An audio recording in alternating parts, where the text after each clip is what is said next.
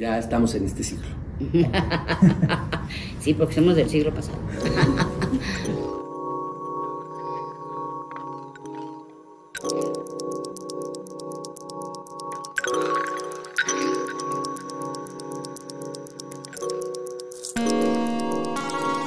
Pues la troupe se crea en 1980. Eh, Mauro Mendoza y yo, Silvia Guevara, saliendo de la escuela de teatro, eh, fuimos compañeros toda la, toda la carrera, y eh, decidimos crear una compañía.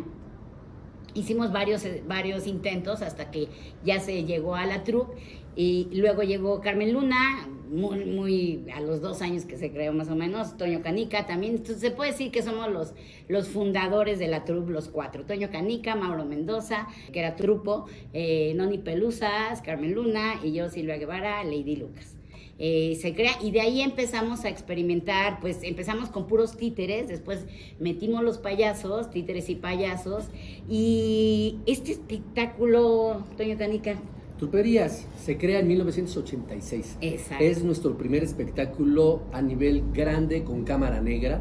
Primer cabaret para niños o primer cabaret para toda la familia. Así lo llamamos, Truperías, primer cabaret para niños. Y aparte eh, fue el primer cabaret este, para niños, pero por primera vez, porque antes hacíamos, hacíamos los espectáculos con música grabada, pero en este espectáculo fue la, el primer espectáculo que grabamos la música que compusiste tú. Así es, y eh, aquí se hizo, fue mi, primer, mi primera composición musical para la compañía de uh este espectáculo. Eh, el formato es eh, como un cabaret, son espectáculos, números musicales de títeres em, con mambos, chachachás, boleros, danzón. Rumba.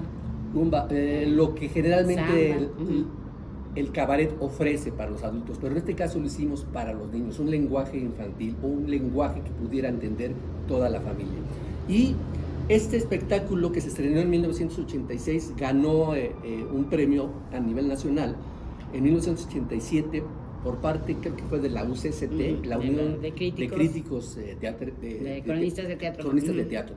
Y ganó el premio Enrique Alonso al, mejor espectáculo infantil.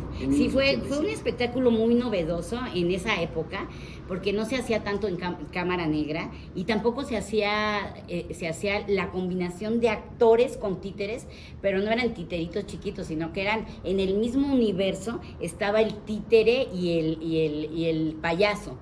Entonces fue muy novedoso, fue un espectáculo que tuvo mucho éxito y que nos fuimos al Cervantino, estuvo en, en festivales, tuvo temporadas muy largas de, en el Teatro Julio Castillo, estuvimos en el Tepeyac, estuvimos en muchos teatros, y viajó siempre, por toda y siempre con gente. y siempre, lleno. Y de ahí eh, salió un personaje muy querido por todos que es Federico Felino el gato, el gato que canta miau, miau, miau, me acuerdo de ti, miau, miau, de este espectáculo. Que es uno de tus de, los más grandes éxitos. Exactamente. Bueno, cuando canta un alebrije, este espectáculo, regresamos a los inicios de la troupe. Aquí nos habló el Museo de Arte Popular al Museo de Arte Popular, el MAP. Ellos hacen el desfile de, alebrijes gigantes, pero hicieron una convocatoria para que dramaturgos hicieran obras para niños sobre los alebrijes. Entonces nos llamaron a varios grupos, nos dieron unos textos y nosotros escogimos el texto de Frino, que es cuando canta un alebrije. Entonces eh, nos conectaron con unos artesanos alebrijeros, alebrijeros. Entonces ellos nos, nos, hicieron los alebrijes, como se hacen los alebrijes, y nosotros les dijimos a los, les, los guiamos de cómo esos alebrijes, porque los alebrijes pues son tiesos, ¿no? Entonces nosotros les dijimos cómo articular los alebrijes. Es una, es un, es un espectáculo, es una obra de teatro realmente, este, muy, muy padre, y es sobre la historia de Pedro Linares, el creador de los alebrijes, y esta leyenda, sueño, que dicen que Pedro Linares soñó en, una enfermedad que tuvo él muy fuerte y, le dio mucha fiebre, este, soñó que se iba al, a otro mundo y ahí le aparecían los alebrijes. Dicen que cuando regresó de la fiebre, este, dijo alebrijes, alebrijes, y de ser un cartonero de, de Judas, hacia Judas, empezaron a crear eh, los alebrijes. Entonces, como la historia de Pedro Linares, una pequeña historia de Pedro Linares. El teatrino es, es muy bonito porque tiene tres niveles que, se manejan eh, con diferentes escenas. Eh, cada escena, la de la casa y, la, de un, bosque y la del infierno, se construyen a partir de tres niveles del teatrino.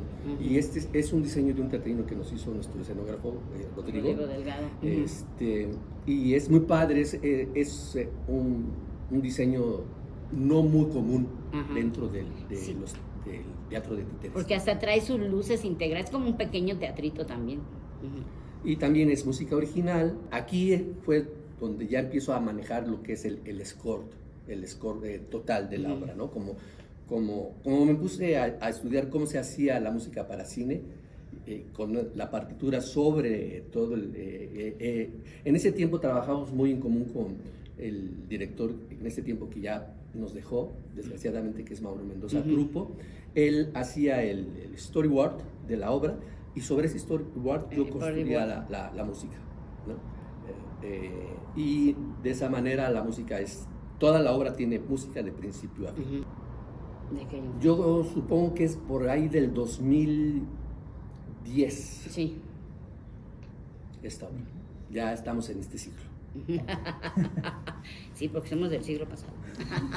Trupus Calacus. Bueno, este es un espectáculo que nos pidieron. De, nos pidieron que hiciéramos, ahora, ahora sí que fue como por encargo, nos pidieron que hiciéramos una obra de Día de Muertos. Entonces hicimos Trupus Calacus, que es un espectáculo muy, creo que de los más grandes que tenemos, ¿no? o sea, es el más grande, e, el más grande en, escenografía, ¿no? no el más grande en contenido, sino en escenografía. Eh, hay, hay muchísimos títeres, yo creo que son como unos 30 títeres, eh, como 20 entre actores y tiriteros, bailarines, este, y es un espectáculo muy grande que lo presentamos en el, en el Festival de Vida y Muerte de Xcaret la primera vez, y se fue reformando y se fue haciendo más grande, más grande y más grande.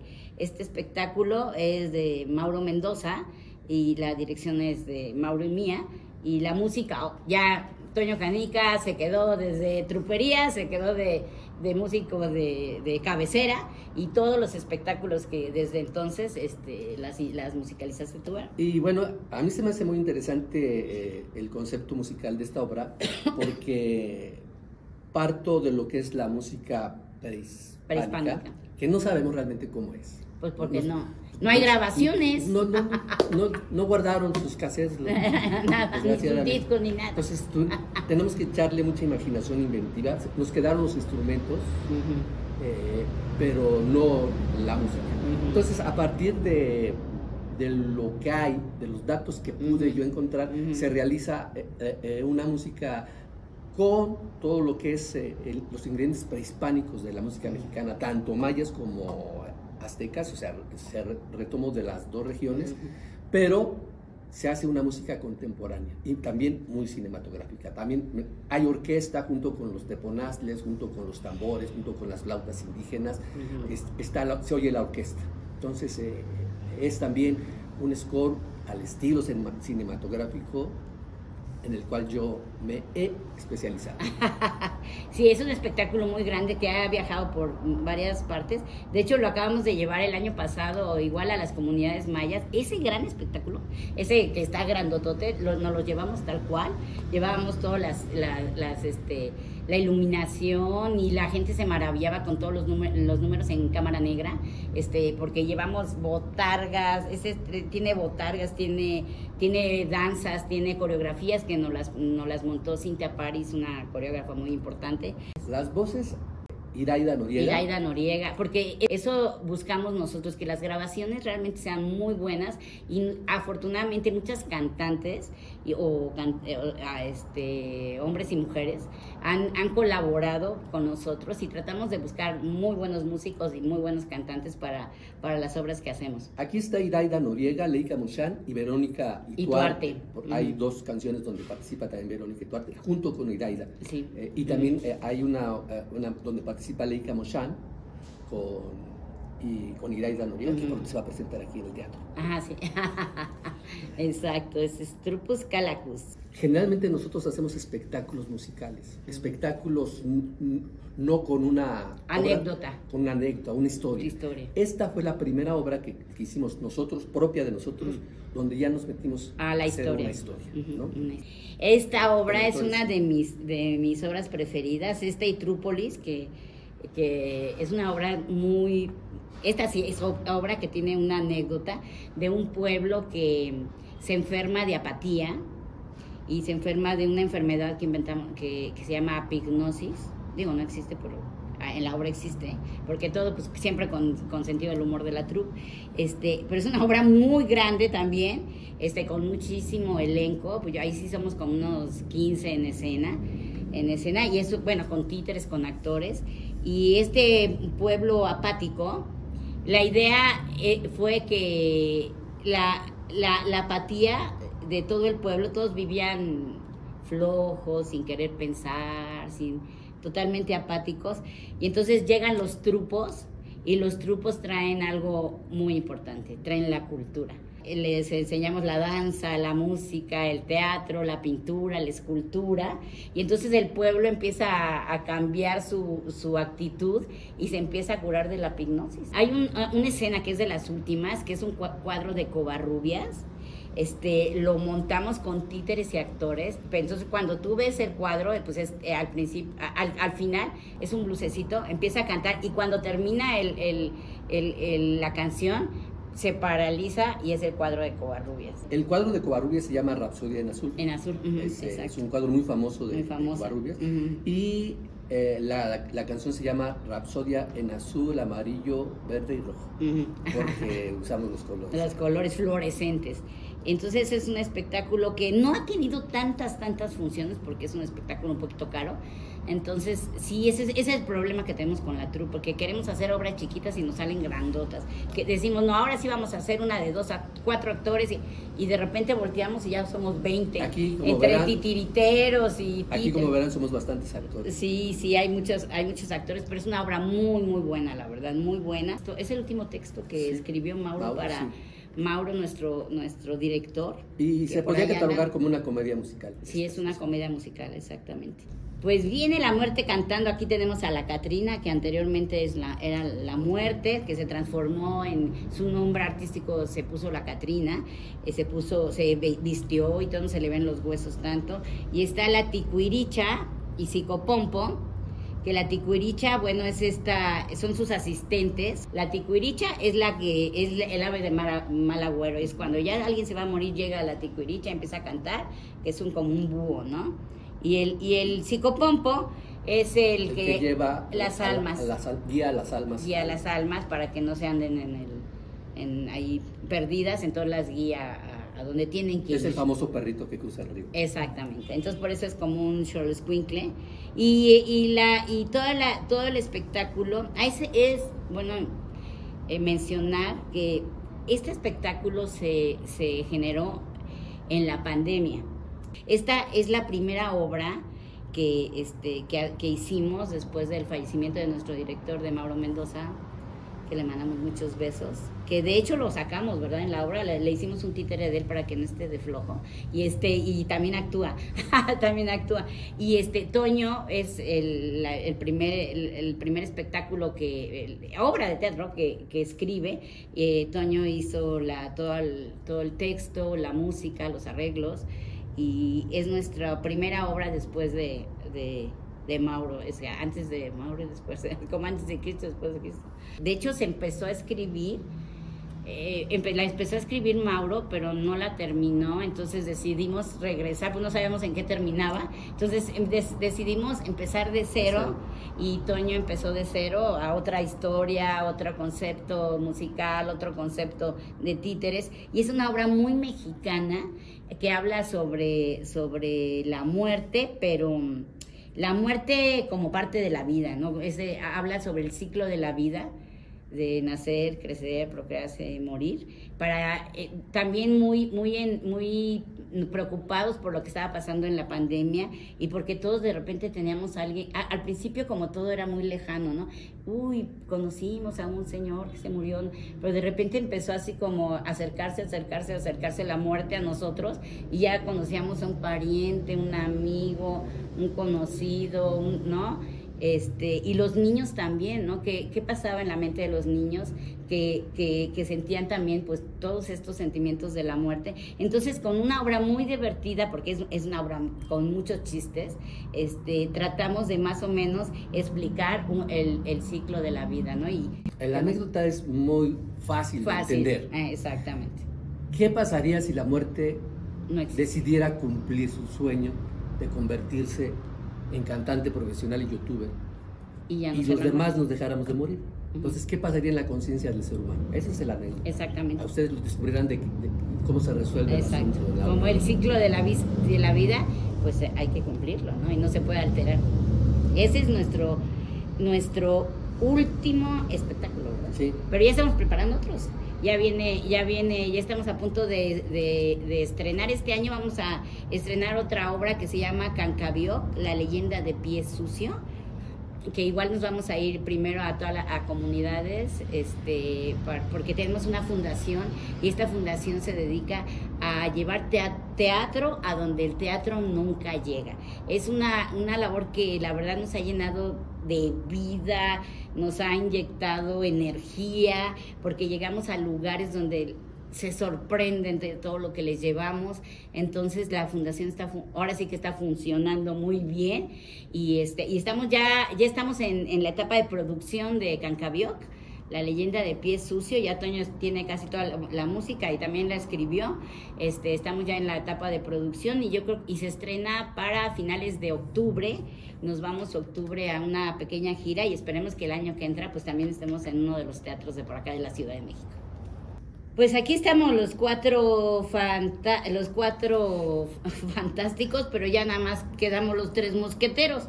Entonces, pero con toda la enseñanza que nos dio Mauro, con todo, Mauro fue muy generoso en el sentido de que nos transmitió muchos sus conocimientos. La trupe se se, como dijimos, eh, se creó en 1980, pero venimos de un movimiento muy importante en el país y bueno, en el mundo de la creación colectiva. Entonces, todos aprendimos, aparte de ser actores o músicos, aprendimos a hacerlo de todo. Aprendimos a hacer producción y Mauro tenía, nos enseñó mucho, nos pasó sus conocimientos, este, nos dejaba hacer todo, todos aportábamos y hacíamos casi todos los espectáculos como espectáculos de creación colectiva. ¿No? Este... Ah, es importante señalar que aunque aparecemos aquí en la foto 4, en la compañía tenemos sí, muchísimo. Un, equipo muy grande, muy profesional que nos apoya en la realización, en la producción y, en, la actuación, y titiriteada, ¿no? Sí, tenemos, es, es, una, es una compañía que aquí ya pasa, como dice Toño, muchísimas, muchísimos actores titiriteros, este, y ahorita tenemos un, un, un elenco estable, se puede decir, desde hace veintitantos años, que es de otros payas que son Moñeta, Titirola, ahora Pavel, este, bueno, está eh, Titiriteros, Luli, Meche, este, a ver si no se me olvida alguno. Tenemos costureros. Eh, eh, tenemos un equipo de producción muy grande. Aquí en el, en el Teatro de la Ciudad tuvimos un, un espectáculo con el grupo Que Payasos y vino muchísima gente que traía hasta sus fotos de cuando eran chiquitos. Y este año cumplimos 43 años y con gusto podemos decir que nos siguen recordando con cariño. Y esa es la importancia, con cariño y que, y que le gustó lo que hicimos, porque 43 años después todavía regresan con sus hijos o con sus nietos, porque los niños que nos vieron, por decir, de 10 años más 43 ya tienen 53 años y siguen viniendo a vernos.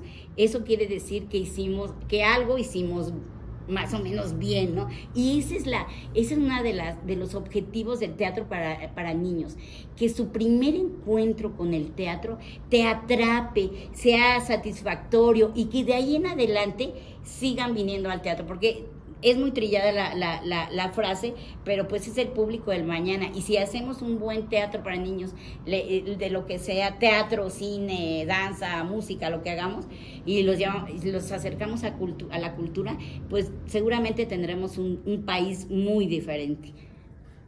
Eh, ¿Sabes qué a mí me ha dado esta trayectoria de la compañía de la Troupe?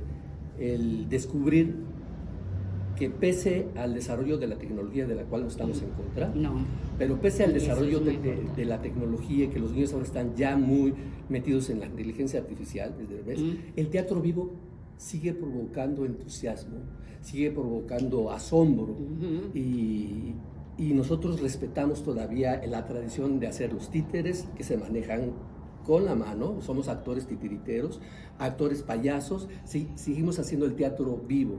Y los niños actuales, que están ya muy metidos en la tecnología, se siguen asombrando.